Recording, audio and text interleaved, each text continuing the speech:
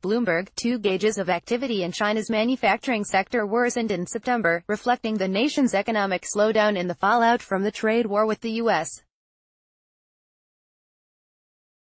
The official Manufacturing Purchasing Managers Index, PMI, stood at 50.8 in September versus 51.3 in August, lower than the median estimate of 51.2 in a Bloomberg survey of economists.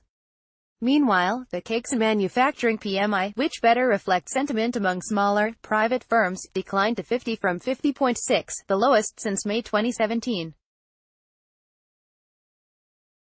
A reading of 50 is the dividing line between expansion and contraction.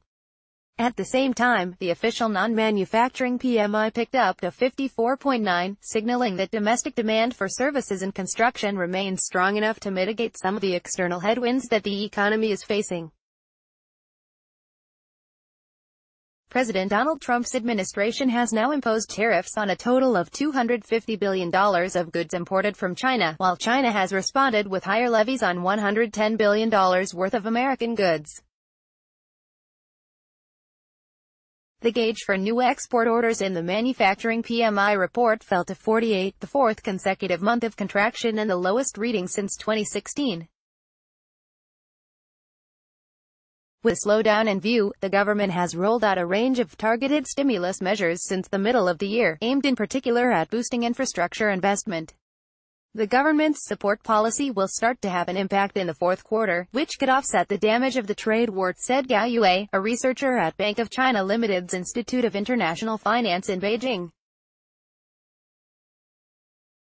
The efforts to shore up infrastructure investment has been driving up construction activity and services industries normally perform better in the third and fourth quarter. Bloomberg Economics early indicators on China's economy foreshadowed the pullback, showing that sentiment deteriorated in September. The report gives an advance picture of what's happening in China by aggregating the earliest available indicators on business conditions and market sentiment. That worsening follows on from a slowdown in industrial profit growth in August. Private companies fared worse than state-owned enterprises, but discrepancies in that data suggest that the picture for Chinese manufacturers may be worse than officially reported growth rates show. Officials have promised fiscal stimulus in the form of tax cuts and infrastructure spending to insulate the domestic economy from the effects of the trade dispute. Analysts also expect China's central bank will continue topping up liquidity in the financial system to support economic growth. Indexes for retail, telecommunications, IT and financial industries in the PMI report were all above 55, showing robust activity, whereas the transportation and real estate services readings signaled contraction, according to the National Bureau of Statistics.